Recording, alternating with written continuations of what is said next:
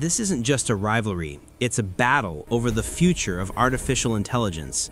Huawei versus NVIDIA, a showdown built on ambition, restriction, and a fight for technological survival.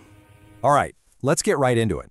We're talking about one of the biggest showdowns in tech today, Huawei versus NVIDIA. This is a battle for nothing less than the future of artificial intelligence. And it's not just about who's got the fastest chip. No, this is a story about ambition, about being cut off, and about fighting for technological survival. You know, when you see a headline, ask if a company's strategy is brave or foolhardy, you know you're in for a story. It really gets to the core of what's happening here. Is Huawei's move a stroke of absolute genius, or is it a massive, reckless gamble? So for the better part of two decades, you have to understand NVIDIA has been the undisputed king of AI. Their technology became the very foundation of the AI revolution. I mean, they were the essential hardware powering pretty much everything, from research labs to the world's most powerful data centers. And here's the massive problem for Huawei. Severe U.S. sanctions basically cut them off at the knees. They were blocked from the tools, the tech, and the markets they needed to even stand in the ring. It was a move designed to completely cripple their AI ambitions. But here is the wild and probably unintended twist. By trying to lock Huawei out, the sanctions basically gave them no other choice. They had to build their own totally independent AI ecosystem from scratch. It was an act of creation born out of pure restriction.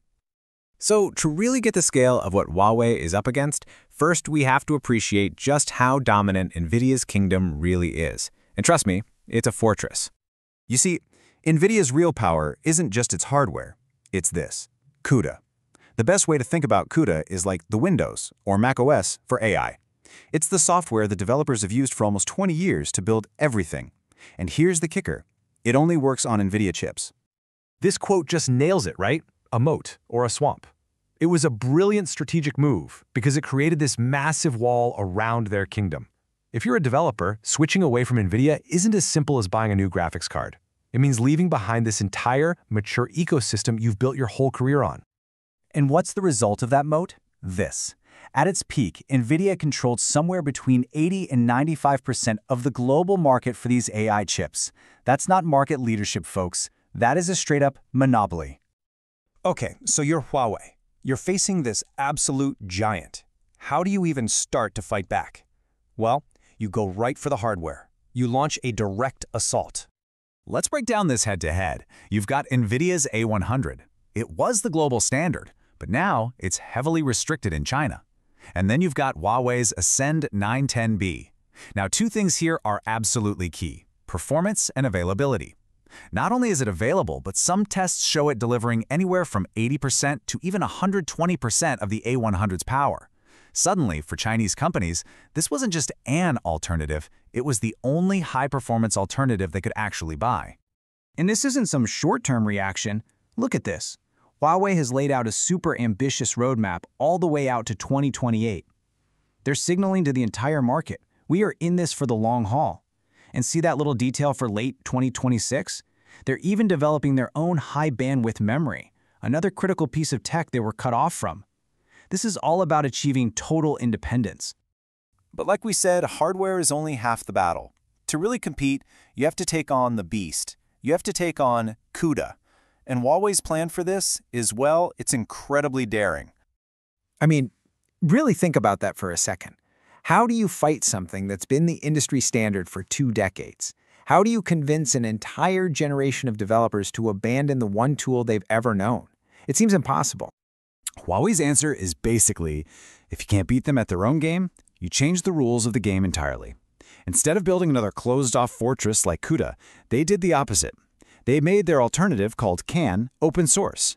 The strategy is to build a massive, collaborative community to go around the monopoly's walls, not try to break through them. Now let's be real, this is a massive uphill battle. CUDA is the new kid on the block. It doesn't have two decades of polish, developers have raised concerns about it being complex and maybe not as stable, and the support community is just a fraction of the size of CUDA's. Overcoming all that is a monumental task. So with all these challenges, and being under crippling sanctions, how in the world is Huawei actually pulling any of this off? Well, this is where it gets really clever. We're talking about some serious innovation, and you could almost call it technological guerrilla warfare. Let's start with intellectual property. In just one year, 2023, Huawei filed this many patents related to GPUs 3,091. Now, that number might not mean much on its own, so how about this? That is five times more than NVIDIA filed in the exact same year. Five times. This is an incredibly aggressive play to build a patent wall around their technology. But all the patents in the world don't matter if you can't actually make the chips. And this is the biggest wall they've hit. To make the most advanced chips, you need these incredible machines called EUV lithography machines, and sanctions have completely blocked China from buying them. It's like trying to build a modern skyscraper with tools from the 1980s. So what do they do? They get incredibly creative with the older DUV tools they're allowed to have. Here's the basic idea. They start with those older machines. Then, using a super complex technique called multi-patterning, they basically print the circuits over and over again on top of each other with insane precision. They combine that with their own patents, and the final result is a chip that can achieve performance in the same class as a 2-nanometer chip, all without ever touching the forbidden EUV machine. It's a mind-bogglingly clever workaround. So you add all this up, the hardware push, the open source software gambit, these crazy manufacturing hacks, what's the end result in the real world? Well, we are watching the great tech divide happen in real time. Take a look at China's AI chip market right now, in 2024. It's unbelievable. It's a dead heat. Huawei has already caught up to NVIDIA on its home turf. Both are sitting at around 39% of the market. The homegrown alternative isn't a dream anymore, it's here.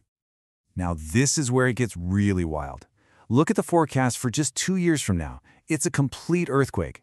Projections show Huawei grabbing a dominant 50% of the market, while NVIDIA's share is expected to collapse to just 8%. Think about that.